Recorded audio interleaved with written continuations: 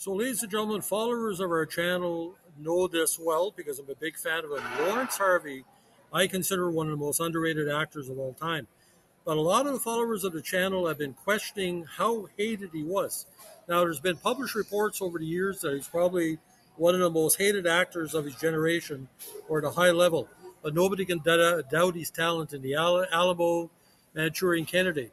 Now, according to a very interesting article on borehamwoodtimes.com, a UK site, I'm just quoting from him and uh, I backed up his information with a few sources. It seems hard to imagine how somebody can achieve film stardom against a background of public apathy, hatred from co stars, and terrible reviews.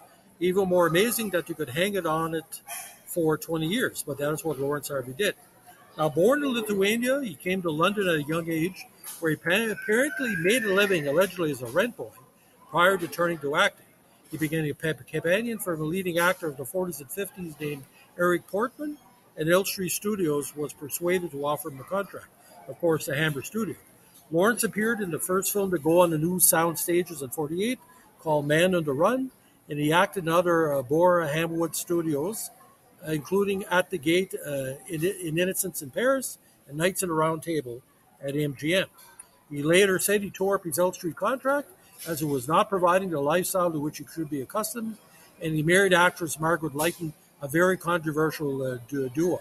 In the late 50s, despite being hated by the critics, Laurence enjoyed a string of hit movies, including Storm Over the Nile, Three Men in a Boat, and Room at the Top, for which he was nominated for an Oscar. This led to Hollywood movies, including a role opposite John Wayne in The Alamo and Elizabeth Taylor in her Oscar winner Butterfield Eight. However, acting with Harvey was less than a joy for many of his co-stars, as he later recalled. Jane Fonda once commented it was like acting by yourself, but worse. Lee Remick remarked it was a horrendous experience not to be repeated. Now, uh, one uh, critic said, I remember Richard Todd telling me about when they worked together on an Elstree movie called The Long, the Short, and the Tall. He said, Harvey was very unprofessional and difficult to work with, we had a young actor named Richard Harris in the cast, and he was constantly leading him astray. Now, the critics, of course, love to hate him, and uh, his acerbic wit. Joanna Pettet said in published reports, especially in, in that Night Gallery book that uh, uh, was published a few years ago, saying he was uh, acerbic, and if he really liked you, he would do everything for you. But if he despised you, he's going to drive you nuts. Now. Um, Todd's comments uh, were backed up by many media, and he said the the science behind him being so negative had a lot to do with the fact that he knew how good he was. Now, how good was Laurence Harvey? Well, the idea is this: before Laurence Harvey uh, came along, the angry young man style that was perfected later on by uh, Richard Harris, Oliver Reed, he pretty well invented that. But you see aspects of when he's acting in the Alamo in the Manchurian Candidate, and later on in Night Gallery, especially the Caterpillar. there was always a little bit of tension between he and his fellow actors, be they British or American. I know Angela Lansbury never had anything good or bad to say about him, but the idea is, was Laurence Harvey as bad as everybody said?